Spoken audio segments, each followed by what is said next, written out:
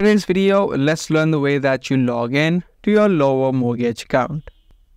Welcome back to a new tutorial video everyone. Lower is a mortgage lender which provides services including refinancing, home equity lines of credit, and a down payment savings match. To log into your account of Lower Mortgage, you'll need to open up a web browser of your choice.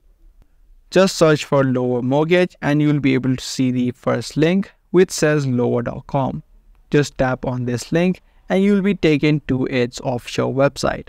To log into your mortgage account, tap on the three lines on the top right and then tap on login. Now, depending upon what you need, if you're trying to see the details of your mortgage account, you can tap on the My Account option. But if you're trying to make a payment only, you can tap on the My Payment option. If you're trying to log into your account, you'll need to type in your email address, tap on next and a link will be sent to the email address from where you need to type in the password and log into your account. If you're trying to make a payment only, tap on the make a payment option and here type in your loan number and your property zip code. This way you'll be able to tap on login and make a payment.